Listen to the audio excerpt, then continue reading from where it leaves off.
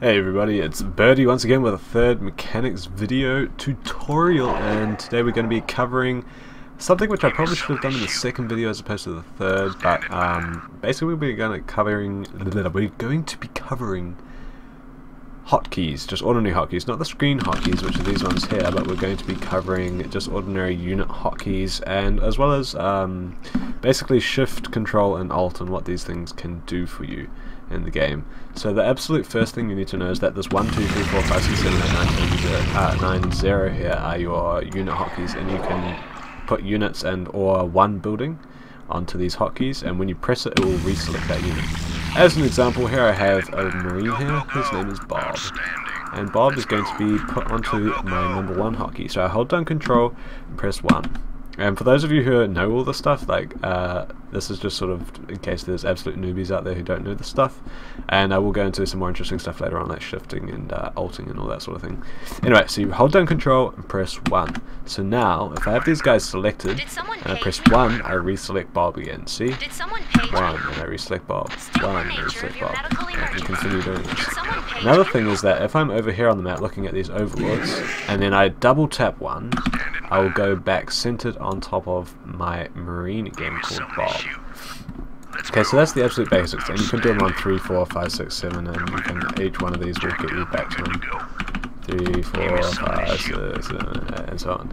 Right, so, the next thing is the other method that you can use control for, which is selecting all the units of the same type on the screen. So normally you do double click to select that, but um, to select just these marines and only marines that are on the screen. But a faster way of doing that is holding down control and clicking them. So if I hold down control and click these two medics, it selects both of them.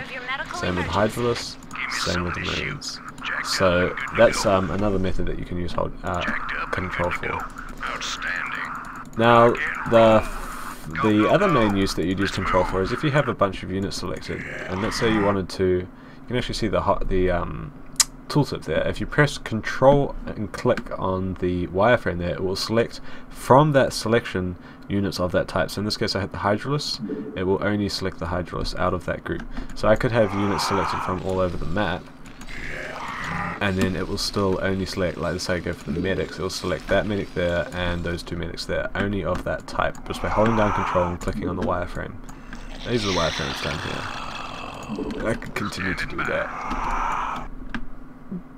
Okay, so that's pretty much the control key covered for the most part. Now here's uh, another thing which many of you may not know is, let's say we have this guy on group 1, so we can center on him here, and we're over here, if we press Alt 1, centers on them as well, so that's a slightly faster way than double tapping, in theory. Now I don't actually use this almost ever because um, it's difficult to use for say 5, 6, 7, 8 and so on, you can pretty much only use it for 1, 2, 3 unless you've got like super awesome fingers, which I don't, but um, it is possible to use if you're running onto and it's worth knowing about in some situations. Now the other extremely useful key on of, out of these hotkeys is this shift key here and we're going to explain that. So let's say let's say I want to select I think I showed an example of this in one of my other videos but I'll do it again in a bit more detail just for the shift selecting so if I have like this one lurker selected and I hold down shift and I click one medic or one marine then it will add that to my current selection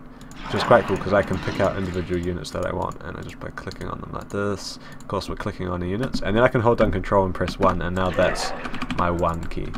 Now just something to note about um, the way that double tapping works to center your screen on the units. So if I have half of the group here and I have the other half over here Alright, and I'm send one more over there as well. So I've got all of them selected using my one hotkey. I press 1 to select it. Now if I press Alt 1, I go to the middle of it. So, and same if you double tap one. So that sends you to the middle of it. And um, that's basically how that works. Now let's just have a quick test and see if I have most of them over here and I have Bob still left over here what will happen when I press double tap 1? Double tap 1 and it goes to the average positions of all of them. So we'll focus on most of them.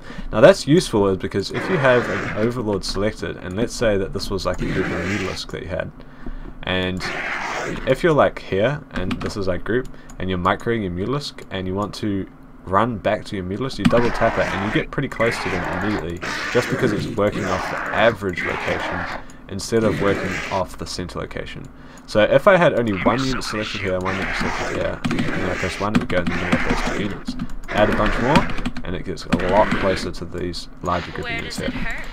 Anyway, that's a sort of minor aside. So there's more useful things you can use shift for, uh, other than just selecting out these units here. Um. One of them is with the wireframe. So if you press shift and clicked, you will deselect that unit. So I deselect the medics like this, and I've got marines on that. Control click to medical select those medics, and I've got those. So I got one, two, one, two, one, Nature two. of your medical So I can go emergency. stim, A move, and then these here can just like A in with them and uh, with the marines and follow them, and then I can stim and run in. Go, go, Oh go. yeah, stim, run. State the nature of your Oh, medical oh, emergency. spam, spam, spam. way. Did someone So that's basically how that works. Um, now, if you hold down, let's say we had all of these selected, hurt? And we hold down Shift and Control and press the medics, it will still only deselect one. That's uh, something to the nature of your uh, be aware of, and you can't deselect. Um, hold up. Yeah, that's that's pretty much Where that. Yeah, so you can't deselect all of them at once. You have to manually Right deselect by going click, click, click, click, click, click, click, click. Where does like it that. hurt? Now, the other useful thing, that's right, the other useful thing about shift is let's say I had this group of marines here, that's in group 1, so I've got group 2 is these medics and group 1 is these marines. And where's another couple of marines? I've seen these guys over here. Rock and roll. Go, go, go. Come back, does it medics. Okay, so I have these marines here, and then these marines here, I want to add them to this control group 1 here. And these medics here, I want to add them to medical control group 2. Okay, so how do I do that? Uh, if I have, uh, if I just select these two and I hold down Shift and I press one and I press one again, they are now added to that control group. So you use Shift one to add it to that control group, Control one to create that control group. Now there is another way of doing this with just Control, is you have these guys already selected, hold down Shift and grab these units, and then just hold down Control one. But the faster way is to select these units and then press Shift one. So let's do that with these medics here as we control click to select all of the medics on the screen and then we go shift 2 State and we've added nature of your the medics to that control group. And now they can all operate as a group which is lots of fun. now if we have lurker eggs and we had this is group 3 and we have these lurker eggs over here we can actually shift add them to that there. So I had did just what I did there was shift 3 and I added the lurker eggs to um, to the group and you can do that even while they are still lurker eggs. It's worth noting that you can also burrow um, using you while the lurkers are selected with the eggs. However, uh, you can't. Um, that's pretty, yeah, that's pretty much that. So that's pretty much all that this tutorial has to cover, I believe. Uh, page me? three, one, two, three, Did one, someone two, page three. me? Oh yes, right. The other thing you can use it for is let's say we have these category selections. Um, oh, let's do the barracks. Okay, so we got the barracks selected, and you'd probably actually have them on like five, six, and seven. Right, so you got five, six, seven.